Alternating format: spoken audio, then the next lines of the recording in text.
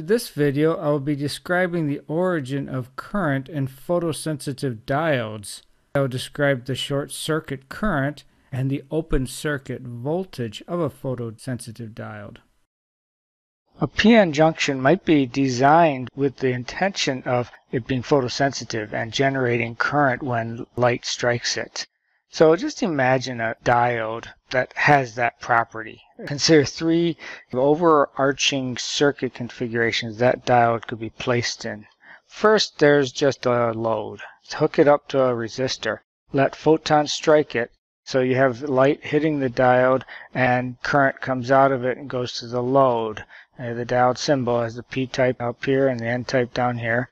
And current comes out the N side it'll behave like a forward bias diode, except there's no source. It is its own source. The light excites it. A second configuration is open circuit, that is take away the load and just uh, let this be wide open. In which case now there's no current coming out for sure, but the voltage that you measure across these terminals is kind of important. It's called the open circuit voltage. Typically, it's going to vary from a fraction of a volt to several volts. We're going to derive an expression for open circuit voltage as we go through this, at least uh, for open circuit voltages that aren't too small. It will be accurate. And then a third configuration is short circuit if you connect a wire across these two terminals. So now any current that comes out will go right around. The current that comes out is for sure the photo generated current, just all of it.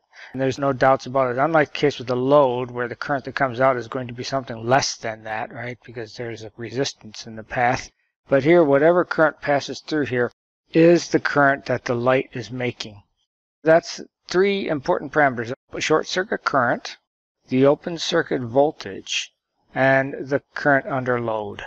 And let's look at all three of them. If you're going to have a light sensitive diode in a circuit, let's make a more complete conceptual diagram that includes the load and includes the source of this current.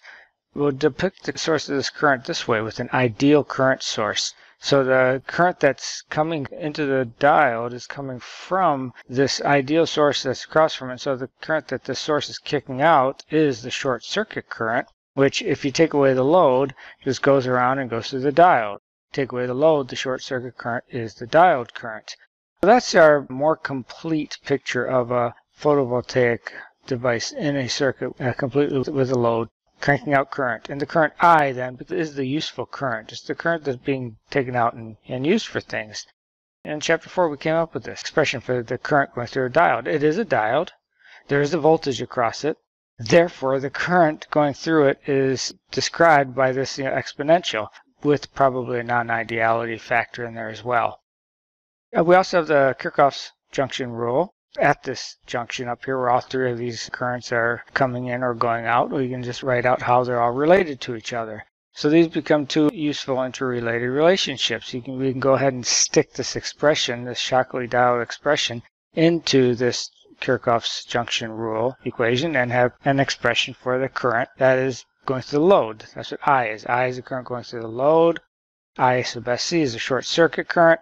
I sub 0, remember, is the reverse bias current. It's the current you get if you reverse bias the diode and this exponential goes to 0.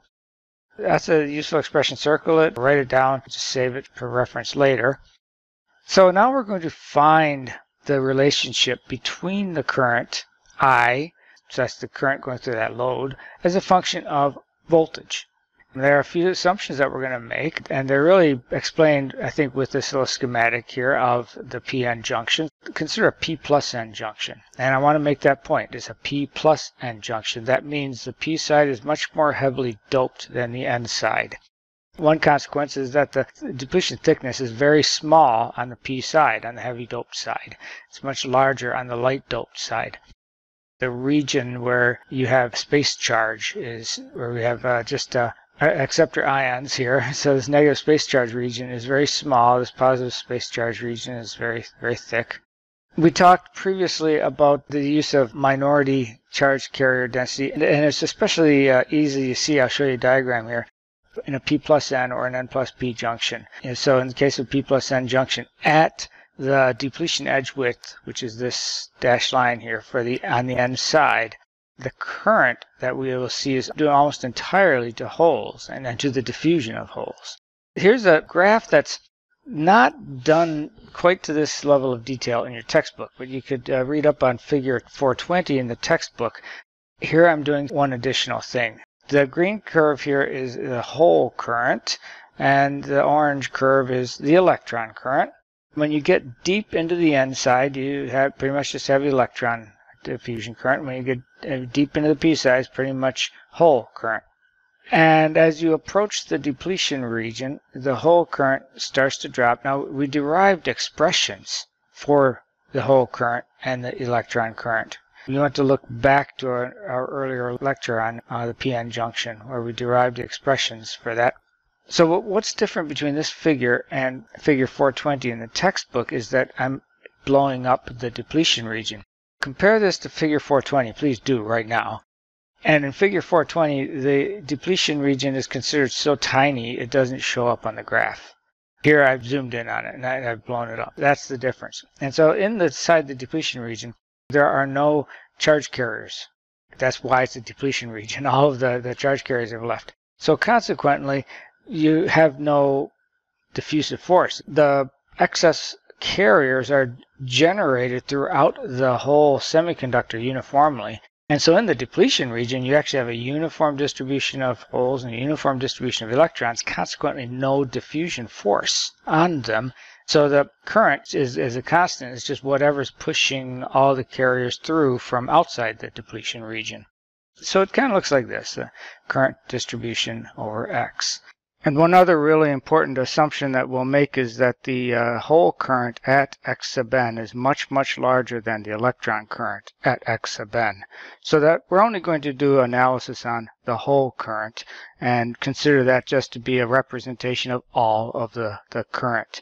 And that's only a fair assumption when we have this unbalanced junction, P plus and N.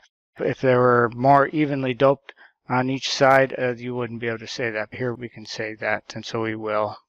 We talked previously about the diffusion equation. We're going to stick with that now. We're going to use it. And, and we talked about why, in the absence of an applied voltage, diffusion is why you have current. Diffusion is the mechanism. We will use the continuity equation that we derived using the diffusion current. So this is the continuity equation for excess holes, P prime, undergoing diffusion, and d sub p is the diffusion coefficient. G is the generation rate, the rate that electron hole pairs are generated. Tau is the recombination time. Go back and review that if you uh, need to. And we have the solution, right? This is an inhomogeneous differential equation. And it's the G over D term that makes it inhomogeneous. And so you write the solution by writing the solution to the homogeneous part and then adding something that's proportional to the inhomogeneous constant. So we have the C and B are two uh, constants that have to be solved for. How do you solve for constants in the, the solution to the differential equation? You apply boundary conditions. So we're going to have two boundary conditions. Before I list them out, I want to get an argument in front of you here that far away from the junction, this is what P prime must equal. So just look at the expression. Far away from the junction, X is large. This term has gone to zero. And so all that's left is B, G, or D. Okay, so I just wanted to get that out of the way before we now write down the boundary conditions. The first boundary condition we'll use is far away from the junction. And so P prime at x equal to infinity, x equal large. It should just be the rate that electron hole pairs are generated times how long they last before they annihilate and that's g tau. So the excess hole density far from the junction is just the product of the generation rate times the recombination time. That's one boundary condition. The second boundary condition, we have a place where we know what things are at the depletion edge. X equals X sub n. This is on the n side, and we're talking about holes as the minority carrier density. At the depletion edge width, we derived this as well. Go back to lecture 32 and, and read up on the forward bias PN junction. You can also read about in chapter 4, section 6. So that's an expression that we will make use of. Those are two boundary conditions. To circle them, and uh, do you see how you can pretty straightforwardly solve them for B and C? We, we can get rid of B and C in favor of material properties. Material properties are like d sub p, the diffusion coefficient, tau, the recombination time, the material property, g, the generation rate, N sub i is a material property, and N sub d is the doping density. Those are things that are worth keeping in our expression. We definitely want to get rid of b and c, and of course the actual values of p prime are things to be done away with. We're going to work on that. So let's start with uh, the first boundary condition. Rearrange it. So the first boundary condition was at infinity, the excess hole density is g tau. But we had already figured out that p prime at infinity is b g over d. That's why I made a little issue about it just now. So those have to be the same thing. That means you know what b is. It's, it's just the diffusion coefficient times the recombination time. Let's look at the second boundary condition. We also have an expression for p prime of x. That's what the, the, equation we're trying to figure out how to work with here, right? So we came up with that equation here for p prime of x. So we know what it equals when x equals x sub n. That was worked out earlier in chapter 4. Evaluate this at x sub n. There you go. Instead of writing x, we write x sub n. Look at that. Uh, this is an equation that has c and b in terms of things that can be known look what else is in there. V, the voltage. And that's what we're ultimately going to try to solve for, is the voltage. That's the open circuit voltage of the photovoltaic. Take this and put the B equals D tau in here. And so we have another expression. Equate those two. Between these two, solve for C. You might just want to pause the video right now and make sure you can solve this for C. I'm going to leave that up to you. I don't need to do a bunch of algebra for you. Uh, it's a mess. So for now, we'll just keep using C. We'll go back then to our current now. So we have our expression for P prime. For the time being, I'm going to leave C just alone. If you take the derivative of P prime, you have the current, right? That's the diffusion current density. J is that minus QD times the gradient of carriers. Take the derivative of this expression that we have now for P prime Again, pause the video. Make sure that if you differentiate this with x, you have this. And now put in our nice expression for c. Notice I don't need to know what b is at this point. It's been differentiated out of here. Put in our expression for c. Notice how these e to the x over root d tau cancel. Because you're going e to the x over root d tau times e to the minus x over root d tau. So that exponential is gone. And so that helps us to be much simpler. But again, pause and verify. Don't take my word for it that the algebra is right. That's an expression for the current density coming out of a photovoltaic cell. Oh, and by the way, this is also equation 41210 in the textbook. Now you know where it comes from. Finally, also a third thing, the textbook often uses diffusion length, which is related to diffusion coefficient and recombination time this through the square root relationship. If you can see it behind this annoying thing that's always in the bottom of the screen. Let's go ahead and find the open circuit voltage. So you set the current to zero. So that thing we just saw for, J, so that'd be zero. And instead of writing V, I'll write V sub OC. That's open circuit.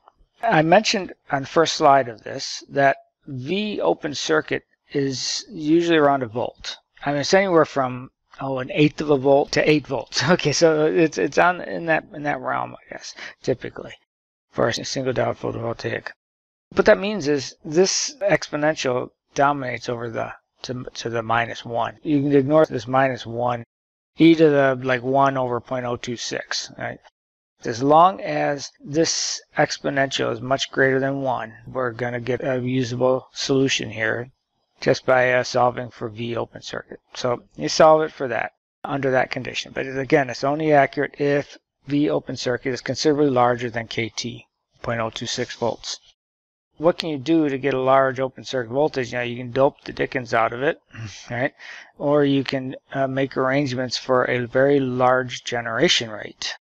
And that's typically what's done guess you can operate at a high temperature, but you but that only goes so far. So let's keep things around room temperature and get G high. And so you go back and, and read or go forward and read section 13, chapter 4, 13.1 to read up on material issues in solar cells, such as tandem solar cells that uh, are a trick to, to get high generation rates.